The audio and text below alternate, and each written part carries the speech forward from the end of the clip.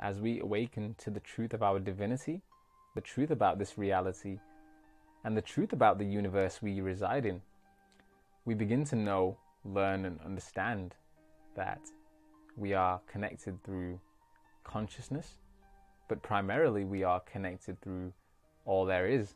We are not separate from our surroundings. And so, as we begin to study this on a more scientific level and merge spirituality and science, we begin to learn that human beings aren't the only things alive on this planet or in this universe, and that in fact everything is alive.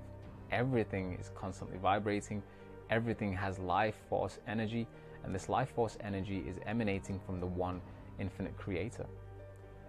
We see this in celestial bodies, and we know from spiritual teachings, New Age teachings, that the Earth is a conscious being. We know that other planets in the solar system and in the universe are considered as conscious beings, and even suns in our galaxy are considered to be conscious beings. And so we are talking about a unified field theory where everything has consciousness. We are all connected through consciousness, and this means we are also connected to our own sun.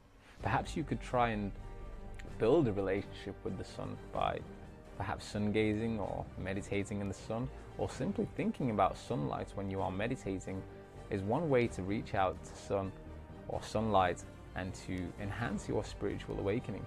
Light is information, and so if you are wanting to take more information from the Akashic records, for example, communicating with the sun would be a wise way to do this.